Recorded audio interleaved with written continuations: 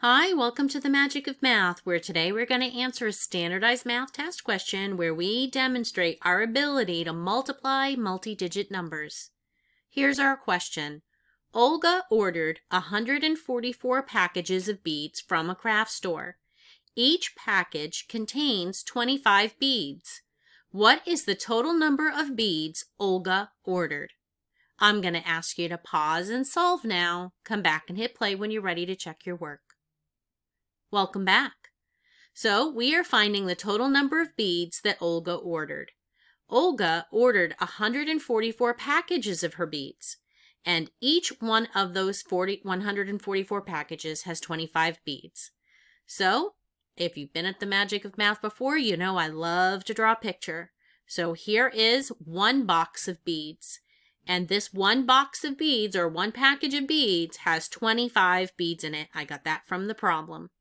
Now, Olga has not just one of these, she ordered 144 of these. So 144 times the 25 beads in each box will tell us how many beads she has altogether. So we're going to set up our multi-digit multiplication.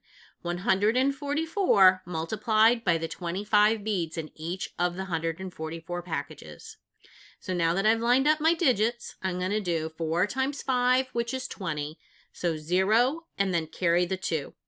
5 times 4 is 20 plus the 2 we carried is 22. So 2 carry the 2. 5 times 1 is 5 plus 2 is 7. I'm going to place a 0 as a placeholder and start my second row. 2 times 4 is 8. 2 times 4 is 8. 2 times 1 is 2. Remember that first row of twos right here was from our first row of multiplication. Now we're going to add. 0 plus 0 is 0. 2 plus 8 is 10. So 0, carry a 1. 1 plus 7 is 8. Plus 8 is 16. Carry the 1. 1 plus 2 is 3. So our answer is a total of 3,600 beads. Now let's look at our answer choices and we can see that answer choice D is the correct selection and that Olga will have 3,600 beads with her order. I thank you for joining me today at the Magic of Math where we continue to master math one video at a time. I hope you'll come back again tomorrow. And please, if you haven't already, subscribe.